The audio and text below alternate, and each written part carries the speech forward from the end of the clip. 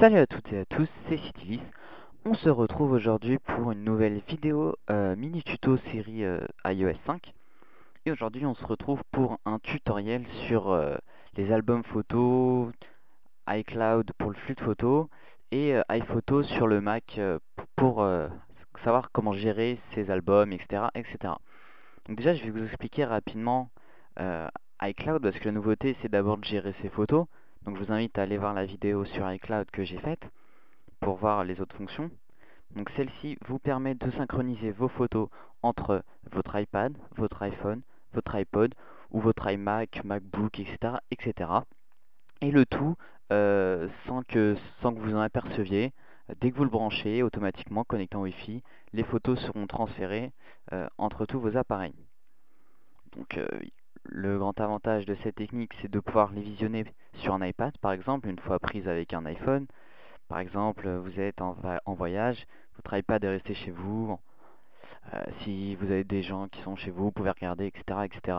Euh, le tout en direct. Donc ça, c'est une fonctionnalité euh, vraiment superbe.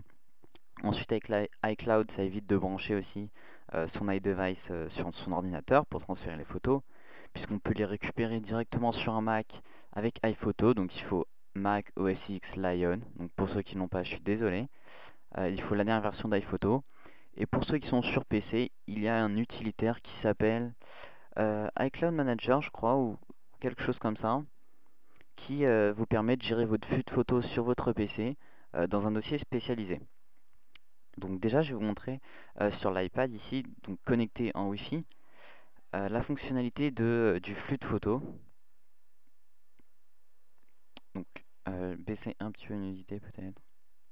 Voilà, donc euh, j'ai pris quelques photos très simples. Photos euh, de Springboard, de l'App Store et ça du Game Center.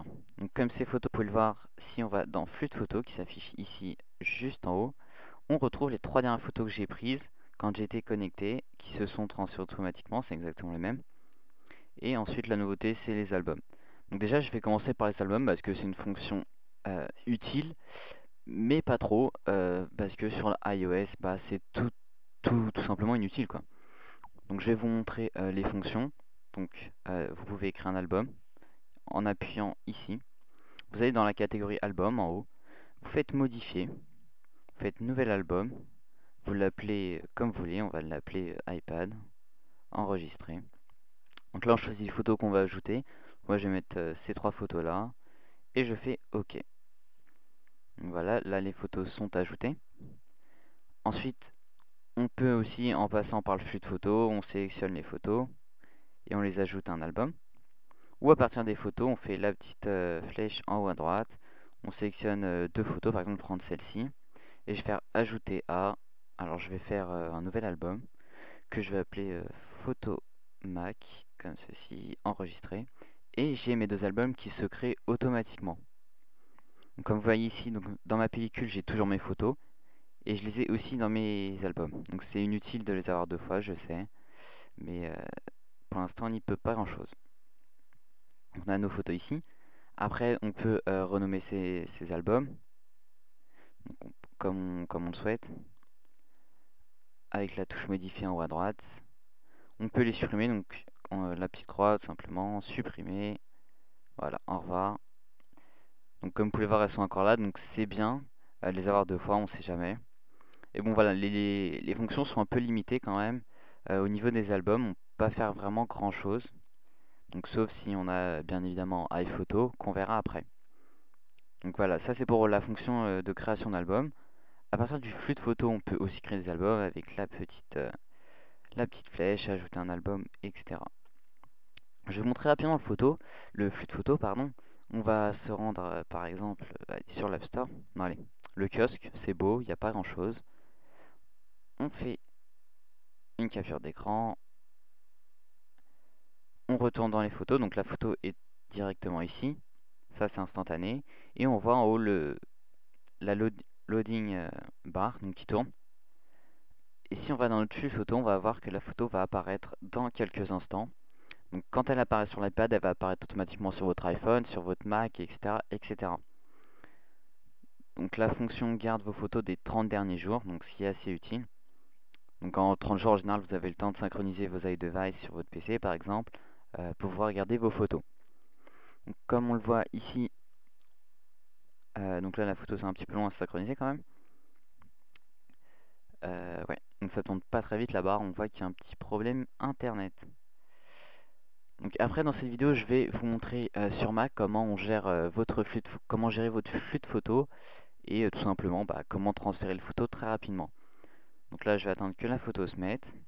Voilà, ça c'est là c'est assez simple pour créer des albums. Euh, il n'y a pas vraiment de grandes fonctions euh, connues, comme, enfin comme ça. Et euh, voilà. Donc on retrouve la fonction de création des albums, la suppression des albums, modification du nom, et c'est tout. On n'a pas vraiment de, trucs super. ensuite, tant qu'on est dans l'application photo, je vais vous montrer les nouveautés, on peut modifier les photos. Super. Vous pouvez la tourner. Donc c'est assez utile ça par contre. Euh, l'améliorer. Donc euh, l'amélioration ne sert strictement à rien. Comme vous pouvez le voir. Euh, les couleurs sont peut-être un peu plus un peu plus foncées sur le l'étagère du kiosque. moi ça me sert pas trop. pour les yeux rouges, bah ça, ça sert à rien. Et pour rogner, bah ça je trouve que c'est utile. Par exemple, si on veut garder juste cette petite image, euh, on peut la cadrer bien euh, comme on le souhaite. Donc c'est une fonction simple, hein, mais bon, plein d'applications comme Photoshop Express, Photocrop, etc. Euh, servent déjà à faire ceci. Voilà, super, une photo en plus. Voilà, la photo est arrivée un peu tard, mais elle est présente. Donc maintenant, je vous dis à tout de suite. On se retrouve sur Mac voilà. dans. Donc on se retrouve sur Mac euh, pour vous montrer sur iPhoto comment on va gérer ensuite ses albums, son flux de photos, euh, ainsi que les événements.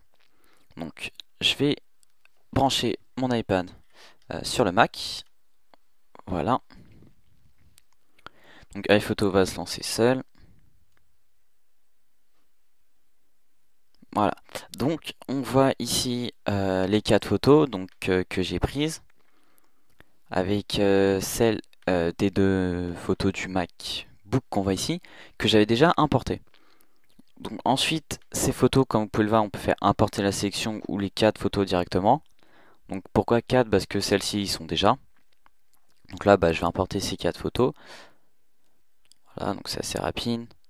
Donc ensuite, les photos de l'iPad, on peut soit les supprimer, soit les garder. Donc moi, euh, je peux les supprimer, c'est pas très utile. Une fois qu'elles sont sur le Mac, euh, elles sont sauvegardées. Ensuite, dans la liste d'appareils, on peut voir toutes les photos disponibles sur notre iDevice.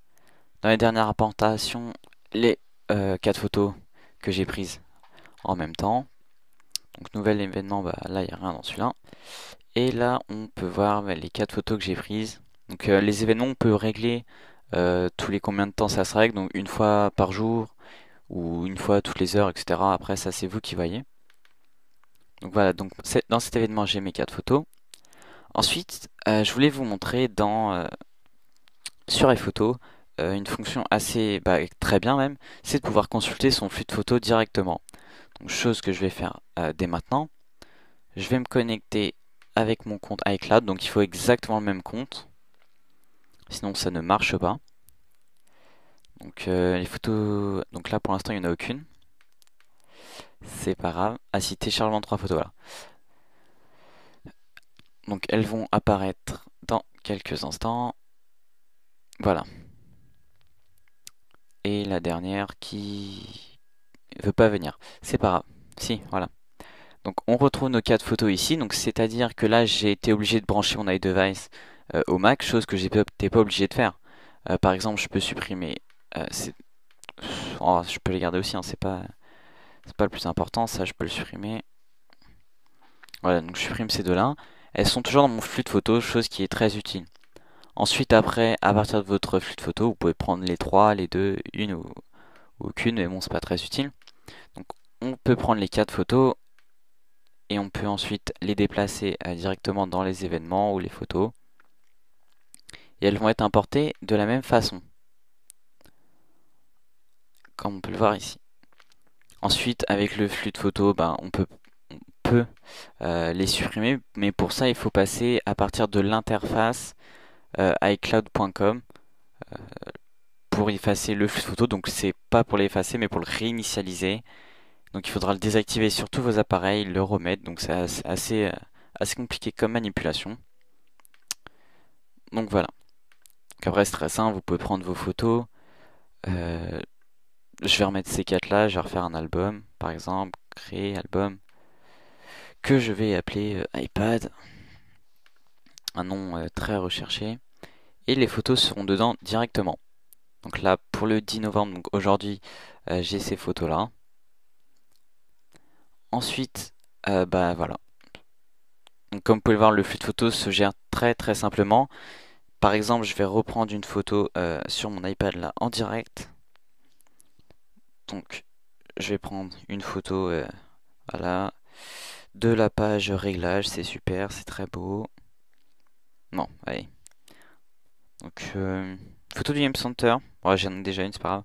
On va prendre la page des jeux avec un beau chargement je me rends dans les photos. Donc celle-ci va être automatiquement transférée dans mon flux de photos et va apparaître ici euh, sur la gauche. Donc on voit la synchronisation en cours et la photo devrait arriver dans quelques instants. On peut l'actualiser. Voilà. La photo est arrivée, donc c'est une photo superbe euh, du chargement. Bref, si vous avez des questions sur votre flux de photos, vous n'arrivez pas à le configurer, ou alors vous avez des problèmes pour la configuration sur iPhoto avec votre iDevice, donc n'hésitez pas à me poser toutes vos questions via iMessage ou via mail, j'y répondrai avec plaisir. Partagez aussi via les commentaires de cette vidéo ce que vous pensez d'iCloud aussi parce que certaines personnes le critiquent, d'autres l'adorent. Donc après, euh, chacun son avis sur ce nouveau système partagez vos avis et je vous dis à très bientôt. Ciao à tous.